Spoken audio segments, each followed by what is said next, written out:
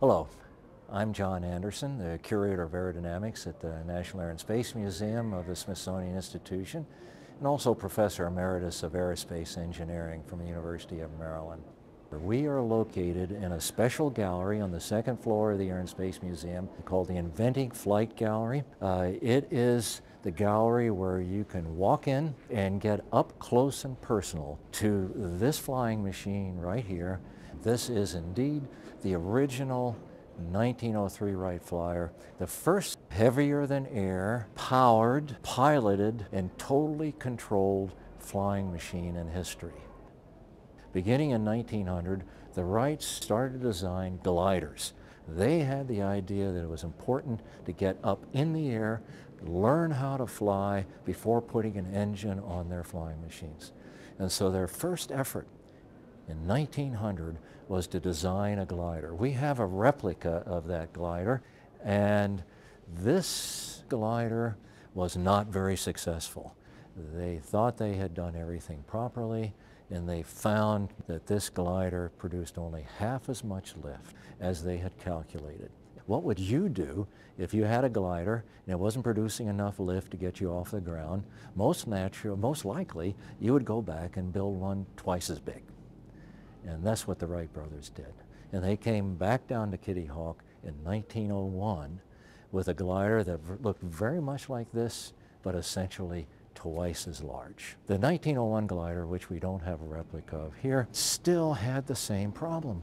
It only produced about one-third the amount of lift that they calculated on the basis of the best available aerodynamic data of the day.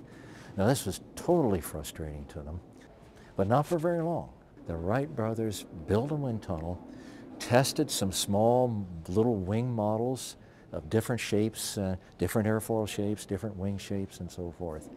And they learned, they acquired what for them was good aerodynamics. And as the most important result from those wind tunnel tests, they were able to design a new glider, which they tested in 1902.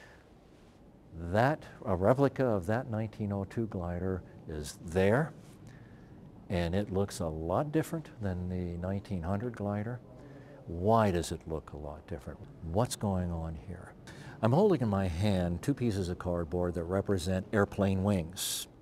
This one is more like the 1900 glider we were looking at. This one is more like the 1902 glider that we were looking at. This is called a lower aspect ratio wing. This wing, this shape has a lower aspect ratio. This has a higher aspect ratio. The aspect ratio is simply this. You measure the length from one wingtip to the other wingtip is called the wingspan. You take that length and divide it by the length from the front to the back of the wing that's called the chord. And the ratio of the wingspan to the chord length is called the aspect ratio that holds for a rectangular wing. They both have the same wing area you would think that they both would produce the same lift. And they don't. This one produces less lift than this one, even though they have the same wing area. Why? I want you to imagine that this wing is flying through the air, that there's an airflow over this wing. The wing is generating lift.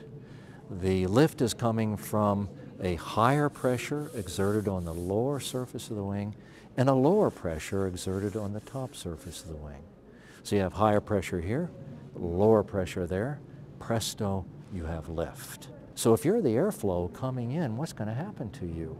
You're going to try to curl around from the high pressure region underneath to the lower pressure on top. And that's what happens. So the airflow flows over the wingtip, acquires a circulatory motion like a vortex motion, like a little mini tornado, this changes the pressure in such a way as to decrease the lift and increase the drag. It's just a physical fact. So these wingtip vortices decrease the lift and increase the drag. Now, how would you tend to uh, mitigate that effect? Well, take these wingtips and stretch them out further away. And this gives rise, and I'll show you that, the, this gives rise to a smaller effect. I have now here a piece of cardboard where the length is longer. The wingtip vortices are further away from the center of the wing. And so for this shaped wing, the lift is not decreased quite so much and the drag is not increased quite so much. This is what the Wright brothers discovered. And so when they designed their 1902 glider behind me, they designed much higher aspect ratio wings on the glider. To be specific, the 1900 glider had an aspect ratio of 3.4. This glider behind me, the 1902 glider, has an aspect ratio of 6.7, almost twice as large. And that is the single most important result from the wind tunnel tests carried out by the Wright brothers was their learning about the major influence of aspect ratio. The 1902 glider was very successful and because of that success, the Wright brothers knew that they were close to developing a successful powered machine. This is the machine that we see here. And it represented the beginning of powered flight, the beginning of the air age, and the beginning of the field of aeronautical engineering. The Wright brothers were the first true aeronautical engineers.